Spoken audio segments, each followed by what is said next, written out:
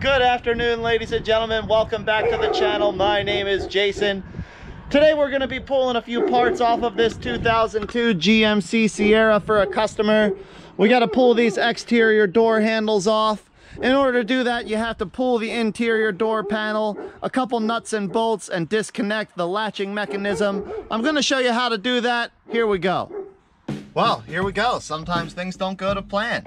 Uh, I already pulled off the driver side handle for whatever reason. My camera didn't record it. Fortunately, we have the passenger side here, so I'm gonna show you the same process. It's exactly the same on both sides. So this is how you, you get that door handle off of there. The first thing I do is pull off my little plastic clips where I need to get them off of. So up here by your mirror, it's just held on with these two little clips. Pull out and it comes off. Your lock switch, pry at the back, pops right out. Your plastic surround around the door handle. Again, it's got some of those little clips. You just pry those out and then pull it out. And then the last thing you need to do up here before you start doing screws is pop your, your switch panel off. So get your screwdriver underneath the outside edge here, pull it up, and it pops right out. Unplug your electrical connectors, sit them down in there, and just sit your switch out of the way. Once you have those off of there, you have three seven millimeter bolts one right here behind that switch.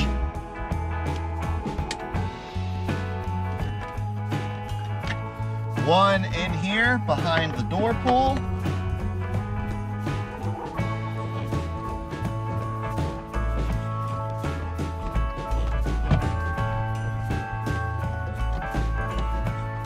And one down on the bottom of the door.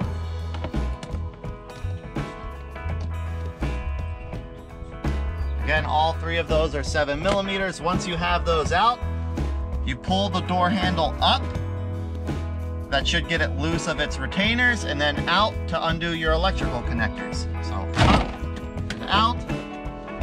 I find that one just sharp tug usually gets it loose. Then you disconnect your plug for your heated seats. You disconnect your plug for your speaker. And if your little reflector light is still plugged in, you unplug that as well. Sit the door panel over out of your way. And then you can peel your plastic back out of the way as well. If this is your vehicle that you know you're going to continue to drive, you want to try not to mess this plastic up because that's what helps keep wind out. Once you get that plastic out of the way, there's two 10 millimeter nuts up inside the door panel. The first one is right down by where the lock is on the door, on the handle outside. So you get your little 10 millimeter up in there, get it loose. Once you loosen it, you should be able to spin it the rest of the way off with your fingers.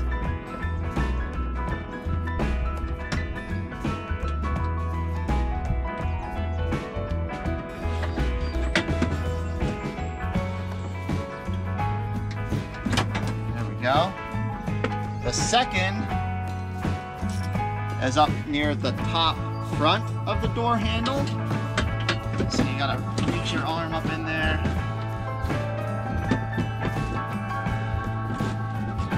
Again, once you get that loose, you should be able to spin the nut the rest of the way off with your fingers. And keep that in mind when you're putting these back on also. These don't need to be mega Hulk tight You just want them snug and firm so they're going to keep your door handle in place. There's that nut. And then the third one is over here under this little black cover. So use your screwdriver, apply your little cover off of there, and then you've got your third 10 millimeter right in there. You get that loose, Helps to have an extension for your little socket.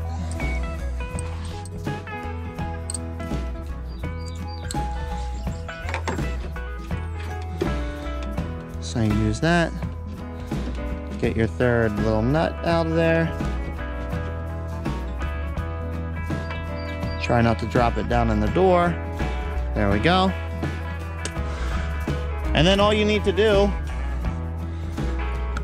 is pull your handle out and disconnect your latch rod and your lock rod. So I'll try to get you where you can see.